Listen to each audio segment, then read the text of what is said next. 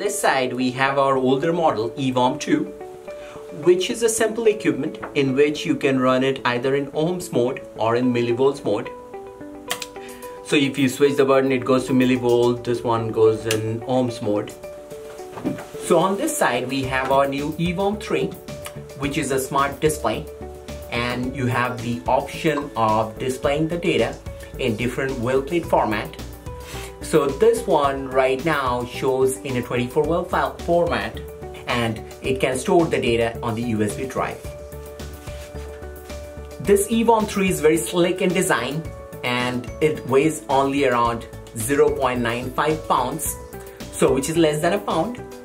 and it is easy to move from one lab to another lab and it is easy to move in out of the cell culture hood and to clean it, all you have to do is spray some alcohol on a piece of paper towel and wipe this with the paper towel.